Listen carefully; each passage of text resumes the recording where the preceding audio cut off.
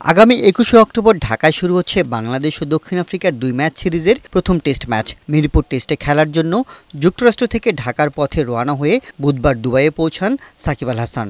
ঢাকা টেস্টের জন্য ঘোষিত পনেরো সদস্যের দলেও রাখা হয় তাকে।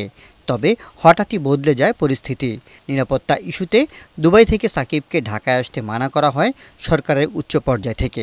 বিসিবি থেকেও দেশে আসতে বারণ করা হয়। আপাতত দেশে আসা হচ্ছে না বলে বৈশাখী টেলিভিশনকে মুঠোফোনে নিশ্চিত করেছেন সাকিব আল হাসান।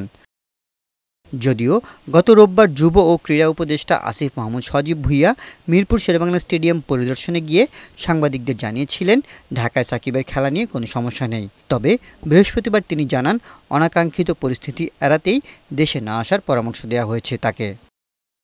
এদিকে সাকিব আল হাসান যেন বাংলাদেশে এসে খেলতে না পারেন, সেজন্য মিরপুর শেরেবাংলা স্টেডিয়ামের সামনে মানববন্ধন ও বিক্ষোভ হয়েছে।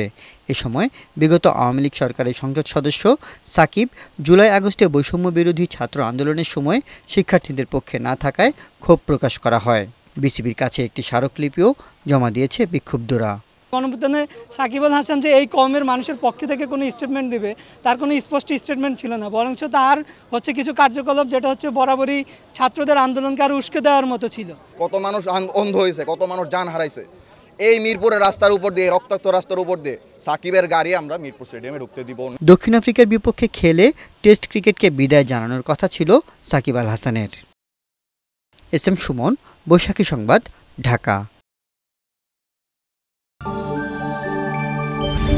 Música